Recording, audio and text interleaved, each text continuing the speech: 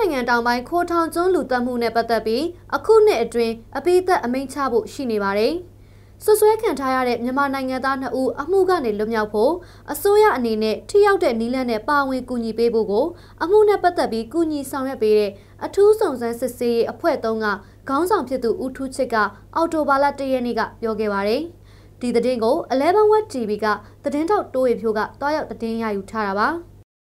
အော်တိုဘာလ၁ရက်နေ့ကရန်ကုန်မြို့မှာပြုလုပ်တဲ့ခိုရောင်ကျွန်းလူတက်မှုနောက်ဆုံးအခြေအနေနဲ့ပတ်သက်ပြီးသတင်းစာရှင်းလင်းပွဲမှာအခုလိုပြောကြားခဲ့တာဖြစ်ပါတယ်။အဲဒီအမှုနဲ့ပတ်သက်ပြီးတရားလိုပြတက်သိ90ကျော်နဲ့တရားခံပြတက်သိ15ဦးကိုစစ်ဆေးပြီးဖြစ်ပါတယ်။လာမယ့်အော်တိုဘာလ10ရက်နေ့နဲ့အော်တိုဘာလ17ရက်နေ့တို့မှာဆွဲခံထားရတဲ့မြန်မာရွှေပြောင်းလူသမားကိုဇော်လင်းနဲ့ကိုဝင်းစော်ထွန်းတို့ကိုစစ်ဆေးသွားဖို့ရှိပြီးအမှုကိုယခုနှစ်အတွင်းအပိသက်အမိန့်ချဖို့အခြေအနေရှိနေပါတယ်။အဲဒီအမှုနဲ့ပတ်သက်ပြီးရုံးချိန်22ချိန်စစ်ဆေးပြီးဖြစ်ပါတယ်။ အမှုနဲ့ပတ်သက်ပြီးတရားခံများတက်တဲ့အဖြစ်ထိုင်းနိုင်ငံရှိမူကင်းဆရာဝန်ဒေါက်တာဖွန်တစ်ထွက်ဆိုချက်အပါအဝင်ဆွဆွဲခံထားရသူတွေဘက်ကခုခံခြေပါထွက်ဆိုမှုတွေကြောင့်အမှုနဲ့ပတ်သက်ပြီးဂွန်းလွန်ကျွတ်လွတ်မယ်လို့ယုံကြည်ပြီးဆွဆွဲခံထားရတဲ့မြန်မာရွှေပြောင်းအလုပ်သမား2ဦးအမှုကလွတ်မြောက်ဖို့အစိုးရအနေနဲ့ထိရောက်တဲ့နည်းလမ်းဖြင့်ပါဝင်ကူညီပေးဖို့ဦးထွတ်ချစ်ကအခုလိုပြောပါတယ်ကျွန်တော်တို့ကငကိုတွေကပြောပါတယ်ဒီဒီအမှုကဒါရိုးရိုးတာမန်ရာဇဝတ်မှုမဟုတ်ဘူးဒီအမှုကတော့ဝင်းလုံးကျိုးလုပ်ဖို့လုပ်မှာဖြစ်တယ်ဘာဖြစ်လို့ကျွန်တော်တို့ကလေးတွေတကယ်လည်းတတ်တာပဲမဟုတ်သိလည်းသိတာပဲမဟုတ်ဒါကိုကျွန်တော်တို့မတရားတစ်ဖြစ်ဖန်ဆီးခံရလို့ဝင်းလုံးကျိုးလုပ်ရမယ် လို့ကျွန်တော်တို့ကတော့အများအားပြောနေတယ်ဒါပေမဲ့တစ်ဖက်ကလည်းထိုင်းဆိုးအနေနဲ့လည်းခိုင်ခိုင်မာမာနဲ့ဒီကလေးတွေကတတ်တယ်လို့ဟိုပြောထားတယ်အများအားပဲသူတို့ရဲ့အစိုးရရဲ့ဂုဏ်သိက္ခာနဲ့သူတို့ရဲ့တရားရေးမှန်တယ်ရဲ့ဂုဏ်သိက္ခာကိုသူတို့ဘယ်လိုပြန်ဆယ်မလဲဆိုတော့ကျွန်တော်တို့ဒီနောက်ဆုံးဒီနှစ်ဒီနောက်ဆုံးတရားဟိုတရားရုံးချင်းပြီးလို့တရားဒီနောက်နောက်ဆုံးဆုံးဖြတ်ချက်ချပြီးတော့ကျွန်တော်သိရမှာဖြစ်ပါတယ်။ဒါကြောင့်မို့ကျွန်တော်အနေနဲ့ကတော့အစိုးရကိုဒီထက်မှက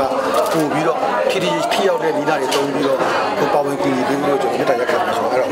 ကျွန်တော် အနေနဲ့ကတော့အစိုးရပြောရပေါ့ဒီလိုဆုံးဖြတ်ချက်ပုံမှာတော့မူတည်ပြီးတော့ဟိုနှစ်နိုင်ငံဆက်ဆံရေးကိစ္စတွေလည်းဒါတွေကပတ်လာတာဖြစ်တယ်။ဒါမှမဟုတ်ကျွန်တော်အနေနဲ့တော့ဟို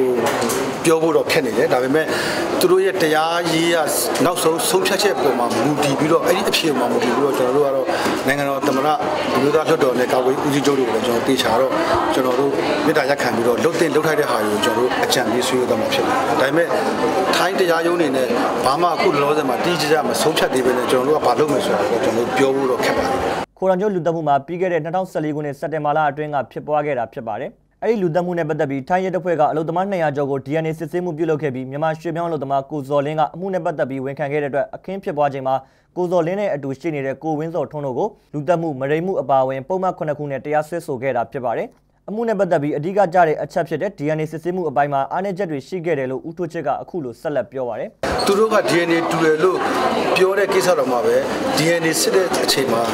လိုက်နာရမယ့်စီမီစီကန်းတွေကိုသူတို့ကမကျင့်သုံးမနဲ့စစ်ဆေးတာဖြစ်တယ်။သူတို့အနေနဲ့ရှိတဲ့ချိန်မှာအဲ့ဒါကိုကျွန်တော်အတည်ပြုလို့မရအောင်ဆိုတော့ကျွန်တော်ဒါကတော့ပေါ်ဝင်နေပါတယ်။အဲ့ဒီမှုနဲ့ပတ်သက်ပြီးဆွဆွဲခံထားရသူတွေကိုဝန်ခံဖို့အတင်းကျပ်ဖိအားပေးတာတွေရှိခဲ့တယ်လို့ဆွဆွဲခံထားရသူတွေကထောင်မှတွေ့ဆုံစဉ်ပြောကြားခဲ့ကြောင်းတရားခံပြသက်သေတဦးက တရားရုံးမှာထွက်ဆိုထားပါတယ်။